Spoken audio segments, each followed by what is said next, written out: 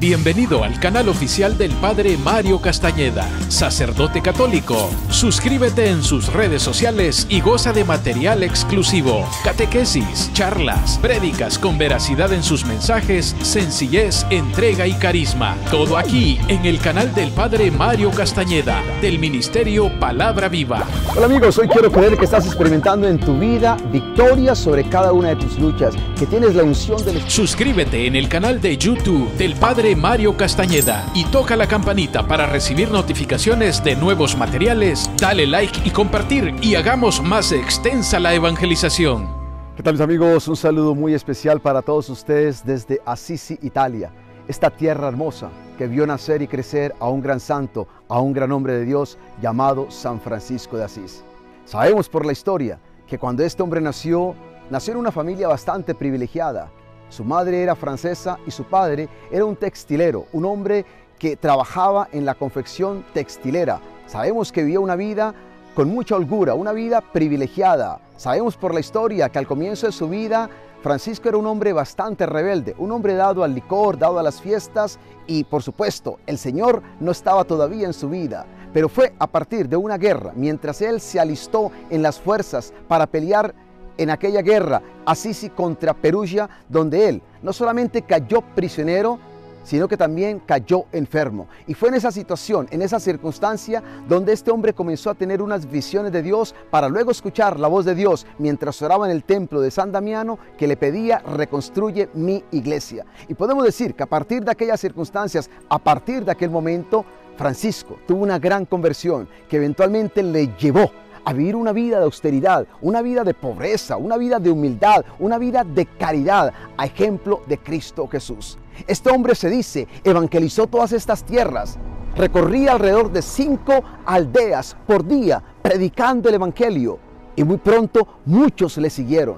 Murió a los 44 años. Lo interesante es que para el tiempo en que él murió, ya su santidad era tan conocida que dos años después fue canonizado. No hay duda que Francisco de Asís ha impactado la vida de muchos, incluyendo nuestro Papa actual, que eligió el nombre de Francisco, inspirado precisamente por la santidad de este gran hombre. Estar aquí, en estas tierras de Asisi, a mí particularmente me ha tocado y me ha movido ciertamente en mi gran deseo de dejarme tocar por el Señor, dejarme transformar por la fuerza de su amor, como también llevar su palabra, como lo hacía Francisco, no solo a través de las palabras, sino también a través de su propia vida. Ya su vida era una predicación, que ojalá nosotros hoy día podamos también impregnarnos de la santidad de este hombre, podamos dejarnos motivar, inspirar por la vida de este gran santo y, ¿por qué no?, vivir una vida de humildad, una vida de entrega y sobre todo una vida de amor a la caridad, como lo hizo este gran santo, este gran hombre de Dios llamado San Francisco de Asís. Desde aquí, hoy te traigo el Evangelio que está tomado de San Mateo en el capítulo 8 del 1 al 4. Dice la palabra de Dios. Cuando Jesús bajó de la montaña, lo siguió mucha gente. En esto se acercó un leproso y se postró ante él diciendo, Señor, si quieres, puedes limpiarme. Jesús extendiendo la mano lo tocó y le dijo, quiero, quedas limpio. Y al instante quedó limpio de su lepra. Entonces Jesús añadió, no se lo digas a nadie, sino que preséntate ante el sacerdote y lleva la ofrenda que ordenó Moisés para que les conste que quedaste sano. Hay muchos puntos interesantes en este Evangelio que a mí realmente me toca el corazón. Lo primero es, dice la palabra de Dios, a Jesús lo seguía mucha gente. Sin embargo, sabemos que a Jesús no le impresionaba que le siguiera tanta gente, porque más que estar interesado en la multitud, Jesús estaba era interesado en hacer discípulos. Y es que hay una gran diferencia entre la multitud y los discípulos. La multitud sigue a Jesús cuando todo es fácil, cuando el mensaje que Él da es el mensaje que ellos quieren escuchar. Pero los discípulos son aquellos que en toda circunstancia, en todo momento, caminan con el Señor, aun cuando su mensaje muchas veces les puede perturbar. A Jesús no le interesa que las multitudes le sigan. A Jesús le interesa tener discípulos. Y discípulo es aquel que lo reconoce como su Señor. Discípulo es aquel que camina con Jesús independiente de las circunstancias. Discípulo es aquel que procura si ustedes quieren edificar su vida sobre Jesús, la roca de nuestra salvación, como también la enseñanza que nos da a través de su palabra.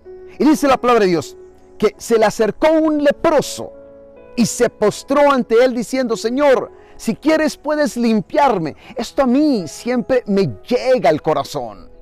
¿Cómo este hombre se acerca a Jesús con esa actitud de humildad? Primero que todo, le reconoce como alguien grande, le reconoce como Señor. Qué hermoso título. Señor, el Cristo, el Mesías, el ungido.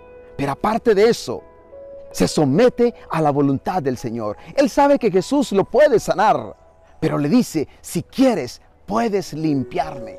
Él no exige absolutamente nada. Él sabe que Jesús es poderoso pero al mismo tiempo acepta cualquier decisión que el Señor tome con respecto a él. Por supuesto que estaba ante una gran necesidad. Este hombre tenía lepra y sabemos lo que tener lepra implicaba en ese momento. Era una enfermedad prácticamente incurable. Era una enfermedad que no solo te desfiguraba físicamente, sino que socialmente te aislaba de los demás. Y espiritualmente, si tú quieres, te negaba la oportunidad de reunirte con otros para orar, para entrar en la sinagoga y celebrar, por ejemplo, tu fe en Dios. Este hombre vivía una vida totalmente aparte, una vida aislada. No tenía amigos a su alrededor, no tenía familia. Este hombre tenía que cubrirse casi toda la cara y no solamente eso, donde quiera que él estuviera, tenía que gritar impuro, impuro, para que la gente no se le acercara, porque quien se le acercara y lo tocara quedaba, si ustedes quieren, manchado. Y aparte de eso, con el peligro de contagiarse también de su enfermedad. Lo interesante es que este hombre se acerca a Jesús y Jesús no tiene miedo de que se le acerque, porque Jesús no tiene miedo cuando nosotros nos acercamos a Él, independiente de nuestras circunstancias, independiente, si ustedes quieren, de nuestra enfermedad, independiente de nuestro pecado. Jesús no tiene ningún problema cuando nos acercamos a Él. Lo interesante es que este hombre le dice, Señor, si quieres, puedes limpiarme. Y aquí viene lo más hermoso, porque dice la palabra de Dios, Jesús extendió su mano y lo tocó. Jesús pudo haberle dicho, quedas limpio. Sin embargo, date cuenta, la acción de Jesús, esta acción de compasión, esta acción de misericordia, extiende su mano y lo toca. Yo pienso, ¿cuándo fue la última vez que alguien se atrevió a tocar a aquel hombre?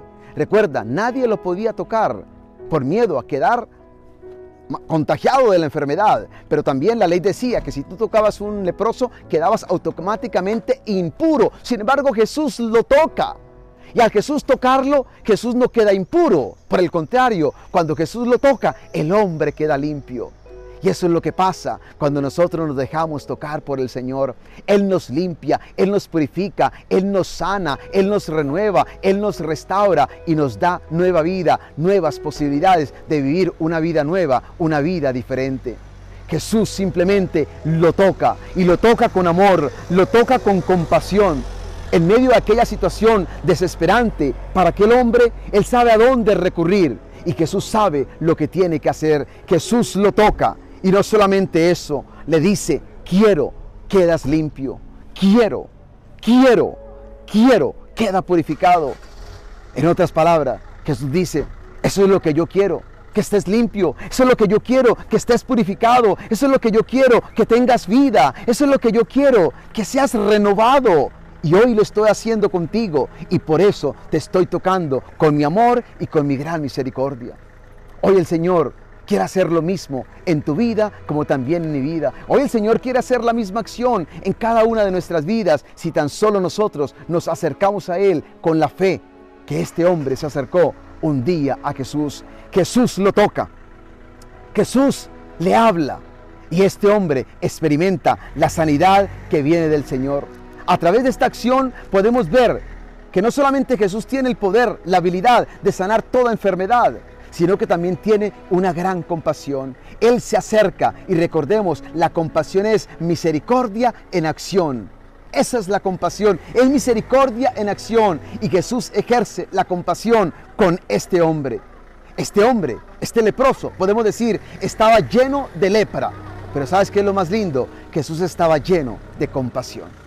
Nosotros quizás podemos estar llenos de enfermedad, podemos estar llenos de pecado, podemos estar llenos de debilidades, Pero lo más interesante es que Jesús está lleno de amor y misericordia para con cada uno de nosotros, siempre dispuesto a sanarnos, siempre dispuesto a tocarnos, siempre dispuestos a hacer una gran obra de renovación y de salvación en la vida de nosotros. Y Él nos toca en cualquier condición en que nosotros nos encontremos.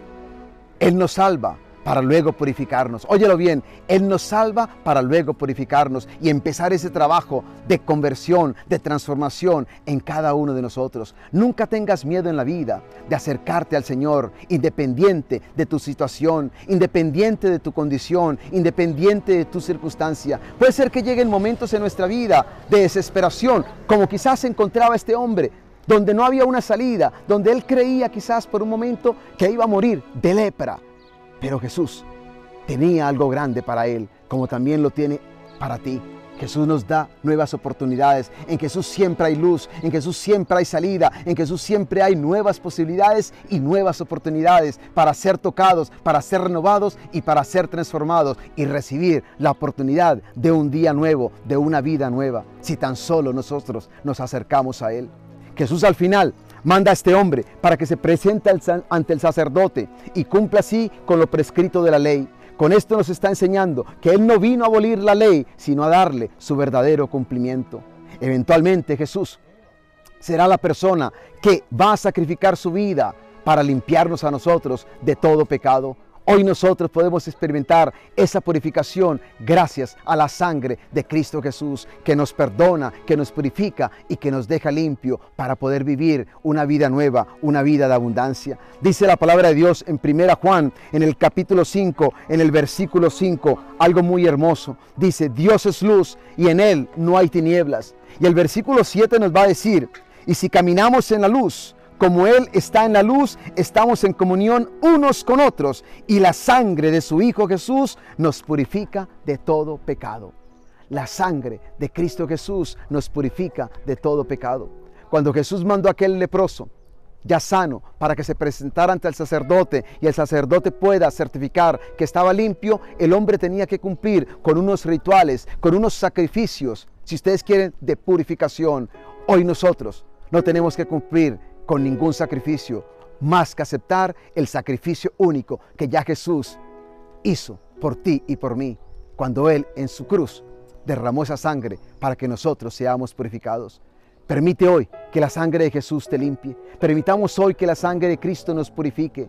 Permitamos hoy que la sangre de Jesús nos sane de todo lo que nos puede atar, de todo lo que nos esté manteniendo enfermos, de todo lo que en este momento nos está aislando de una vida de comunión con nuestra familia, con nuestros amigos, con Dios mismo y permitamos ser reincorporados en su presencia para poder vivir en comunión con Él y en comunión de amor los unos para con los otros. Este es el día que el Señor nos ofrece para que nos acerquemos a Él como se acercó un día el leproso y experimentemos su compasión, experimentemos su misericordia y, por qué no, experimentemos una restauración total en nuestra vida.